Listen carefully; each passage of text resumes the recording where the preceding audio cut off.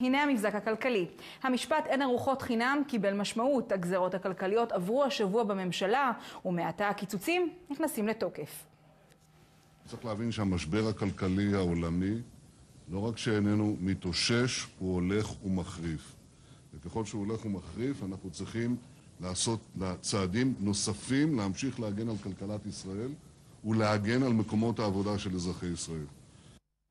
כן, במטרה להתמודד עם הגירעון התקציבי, שר האוצר וראש הממשלה גיבשו חבילת צעדים, ביניהם קיצוץ רוחבי של חמישה אחוזים בשנת 2012 מכל משרדי הממשלה, כשהמשמעות היא קיצוץ בתקציבי המשטרה, הבריאות וגם בתקציבי הדיור הציבורי.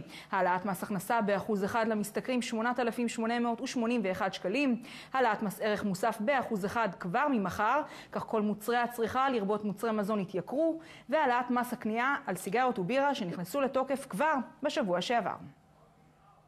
למרות שהצעדים הללו הם לא אה, אה, נעימים והם לא כיפים, גם לא לי כשר אוצר, אבל כל בן אדם בר דעת מבין שאנחנו עושים את זה כדי לשמור ולהגן על אזרחי ישראל בפני האבטלת ההמונים והמשבר הנורא שמשתולל שם בחוץ באירופה ואמריקה.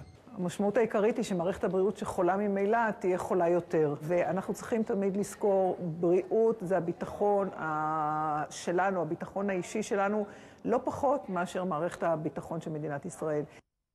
כלל הצעדים שננקטו צפויים להכניס לקופת המדינה כ-12 מיליארד שקלים. בין מיעוט השרים שהתנגדו למהלך בממשלה היו שרי ש"ס, שטענו שהשכבות החלשות יהיו הראשונות להיפגע. אולם חוץ מהביקורות מבית ומהאופוזיציה, זכה נתניהו לביקורות גם מהציבור.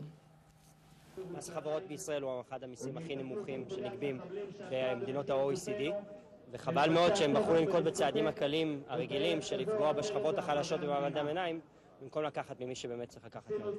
כן. הדיון אודות הגזרות הכלכליות צפוי להגיע גם למליאת הכנסת בשבוע הבא, שתתכנס באופן מיוחד. ההצבעה בעניין זה צפויה גם שם לעבור. עד כאן המבזק הכלכלי. לכולכם, שבוע טוב.